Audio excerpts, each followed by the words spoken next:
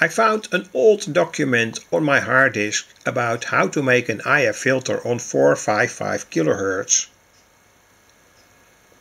And it's completely homebrew, so let's see how it works. This is the first page from this old document. It was never published. I had to the idea to publish it on YouTube, oh, sorry, on the Lulu, on the Lulu website, but anyway. How you see, here you see how it was made. Two pieces of PVC tube are cut and cardboard is added to the top and the lower part from that PVC tube. And the cardboard is cut with a scissor into a round part here and after that the whole, whole uh, thing is covered very well in PVC glue. That's the type of glue that's used for sewage pipes. That has the ideal isolating effects, doesn't take up moisture, etc. Here again these two coil forms and here again and here I was testing these two coils with the ferrite rod on my wobbulator. That video is on YouTube, I'm absolutely sure. And here is a critical position from these two coils close to each other and when you move one of the coils into another direction, uh, the bandwidth, the peak that's visible on the scope and created by the wobbulator uh, vanishes. So there is a critical position between these two tubes. They have to have a certain distance to make this filter work with a good bandwidth on 455 kHz.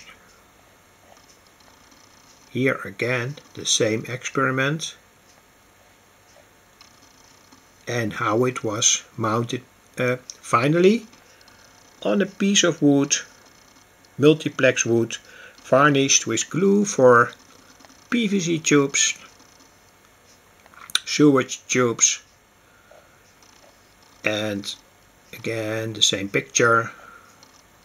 And here the definite version. The two coils are now in a certain distance and with the screw here I can move in the ferrite rod up and down and uh, give the IF filter a certain peak. The ideal passband on 455 kHz. I have to say I mounted here also a cap from approximately 100 picofarad and here also. But that's the way to do it. Same picture. You can see the caps here, they are green. And you have to uh, find out these caps experimentally to give it a good peak on 455 kHz with a certain bandwidth. And the caps that I used are say 220 picofarad ceramic caps, ceramic caps. Something to test when you want to make it all by yourself. Here the filters are mounted in uh, a tin plate tin plate uh, can and that was not the ideal situation.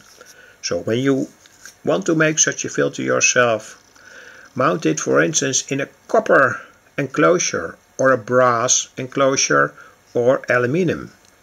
That works much better. This uh, iron here uh, has a bad influence on the peak from the homemade IF filter on 455 kHz. So that was all to tell. This is the finished product. but again uh, in the past I have also uh, not used these uh, tin cans but made a paper enclosure from a cardboard roll. That also worked good.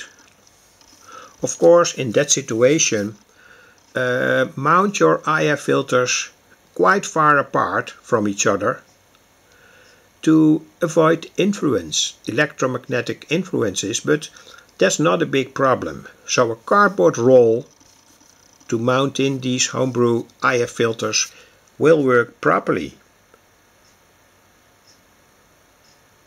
Wish you luck.